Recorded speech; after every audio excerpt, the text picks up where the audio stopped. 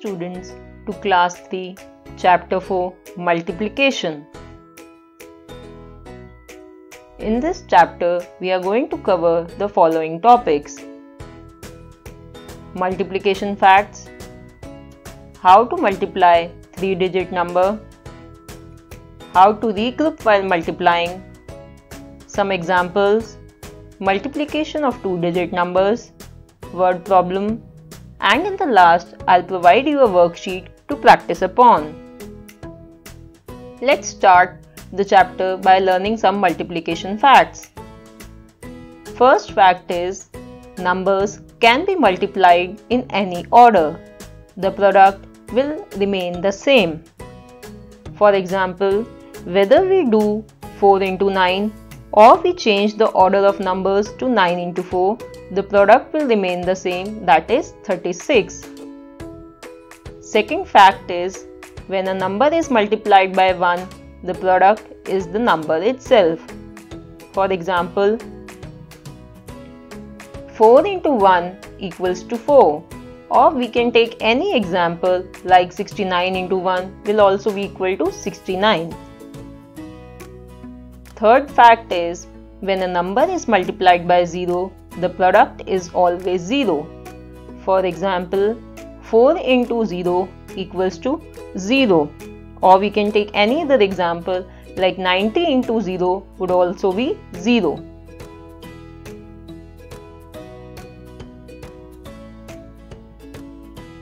Let's revise these multiplication facts through some exercise. 11 into 0 equals to 0 because we know when a number is multiplied by 0 the product is always 0. Next is 5 into 1 equals to 5 because when a number is multiplied by 1 the product is the number itself.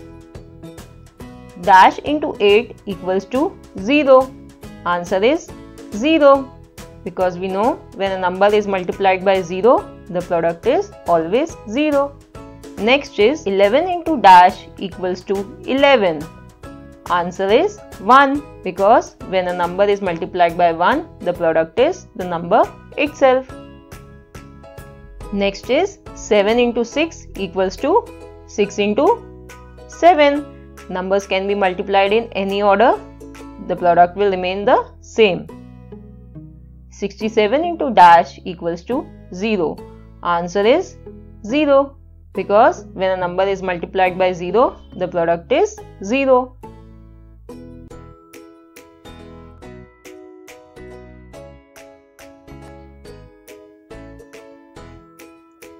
Now let's do multiplication of 3 digit numbers. Example is to multiply 123 by 3. Let's first write the numbers in column form we'll start multiplying the digits at ones place. So 3 into 3 equals to 9. Moving forward, we'll multiply the digit in the tens place. So 3 into 2 equals to 6. Similarly, we'll multiply the digit at hundreds place. 3 into 1 equals to 3. So our answer is 369.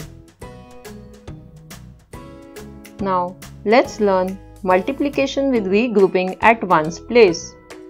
Students, it's a very important topic, so please listen carefully. Question is to find the product of 214 and 3.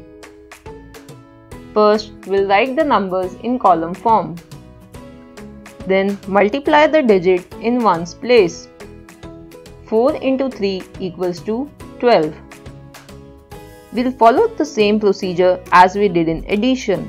We will regroup 12 into 1 tens and 2 ones. We write 2 at ones place and 1 act as a carry to tens place. Now multiply 3 with the digit at tens place. So 3 into 1 equals to 3. There is also a carry which should be added to the result and not multiplied. So 3 plus 1 which is the carry equals to 4. So we'll write 4 at tens place. Moving forward, we'll multiply the digit at hundreds place. So 3 into 2 equals to 6. So our answer comes out to be 642.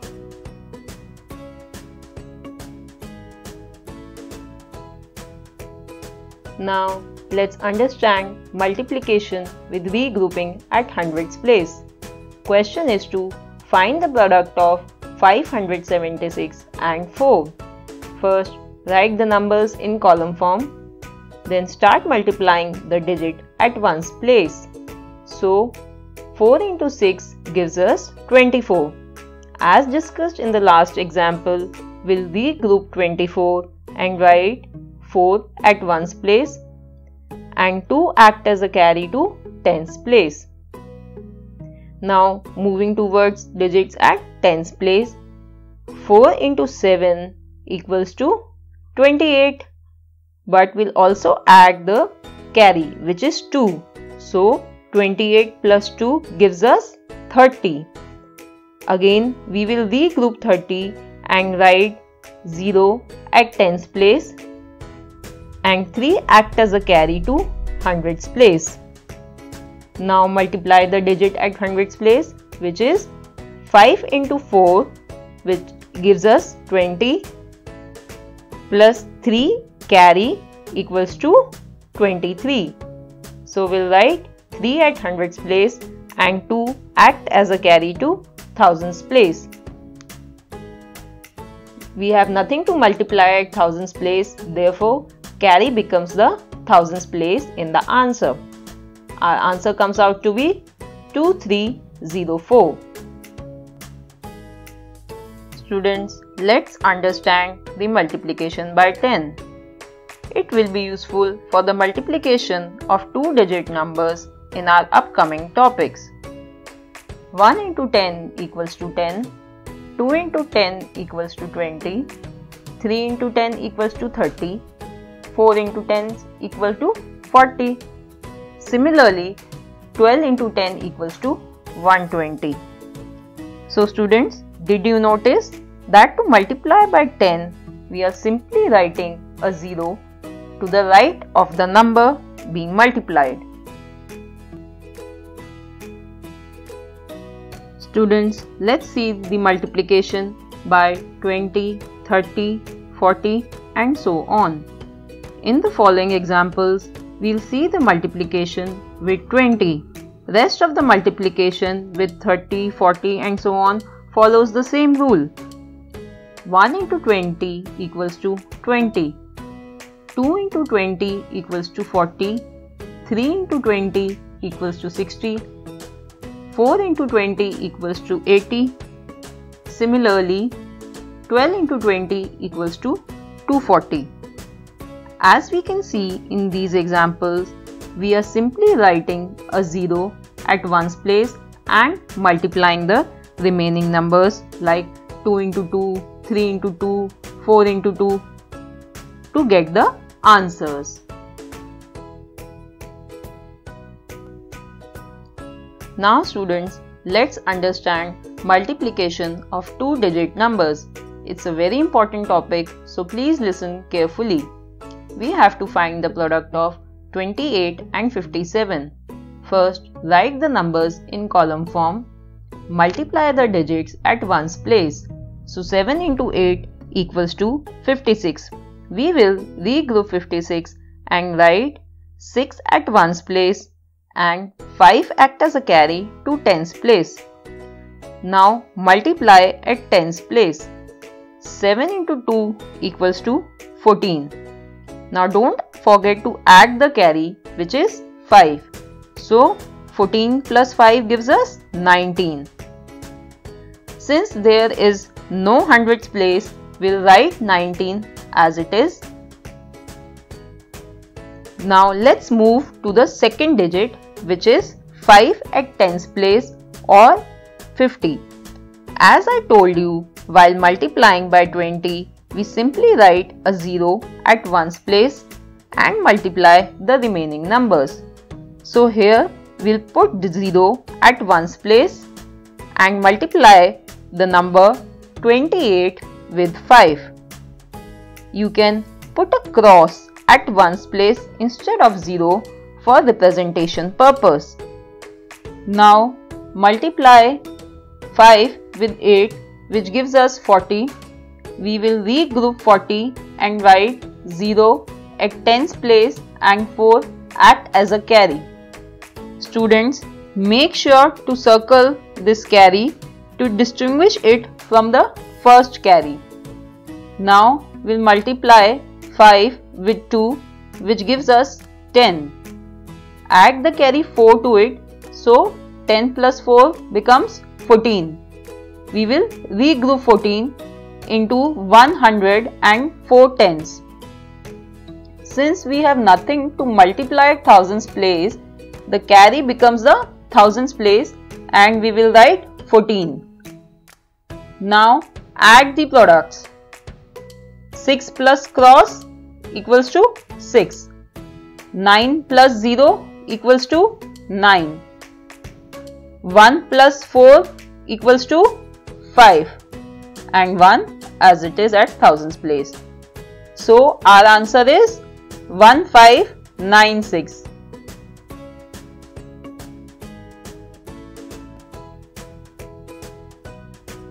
Now students, let's see how to solve word problems related to multiplication. Question is, there are 84 balloons in a packet. How many balloons will there be in 48 such packets? Let's write the statements about things given in the question. Number of balloons in each packet is 84.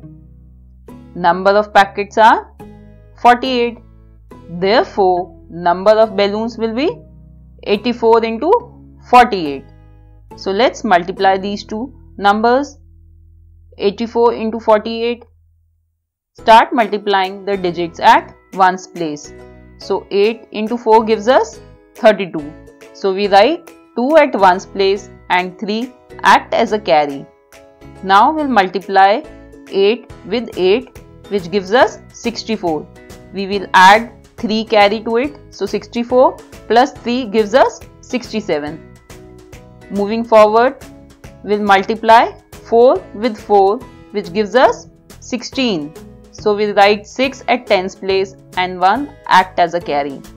Now multiply 8 with 4 which gives us 32 and don't forget to add the carry which is 1. So 32 plus 1 becomes 33. Now we got products from both the numbers. So next step is to add the products. 2 plus cross gives us 2. 7 plus 6 is 13. 1 becomes a carry. So 6 plus 3 plus 1 gives us 10. 3 plus 1 which is a carry gives us 4. So our answer is 4032 balloons. In the last, we should write the answer statement. And the answer statement is there will be 4032 balloons in 48 packets.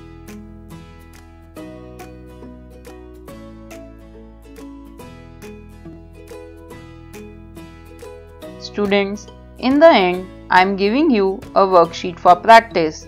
You will find the answers to worksheet number 4 in my next video. First question is write in columns and multiply 580 with 5. Second question is write in columns and find the product of 34 and 99. On the day of Onam, 225 boats took part in a boat race. There were 8 children in each boat. So how many children took part in the boat race? Next question is a bus that can seat 76 people makes 13 trips a day. If the bus is full on all of its 13 trips, how many people traveled by the bus? Last question is Mother purchased 3 kg onion at the price of rupees 35 per kg and 5 kg potato at the price of rupees 45 per kg.